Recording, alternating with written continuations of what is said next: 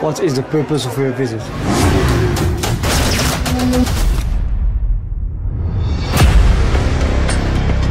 네가 중동 전문이잖아. 그래서 그 사람 만나가지고 부탁해라. 비공식적으로? 그렇지. 형님 빨리 가시죠. 한번 도와주세요, 한수 형. 진짜 너무 바쁜데.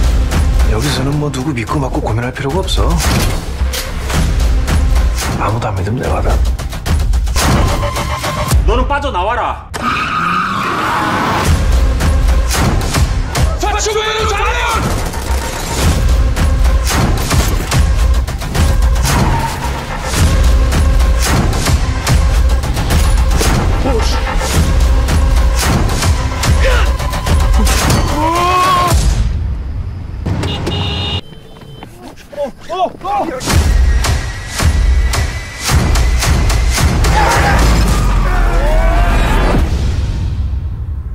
너무 피곤하다 진짜.